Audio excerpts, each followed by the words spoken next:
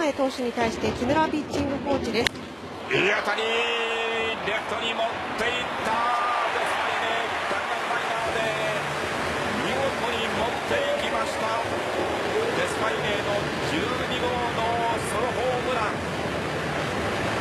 2点をホームランで先制されて今日3試合ぶりのデスパイネの一発が出ました。2対11点差です捉えましたね、もう完璧ですよね、先ほどやっぱり変化球打ちましたから、はい。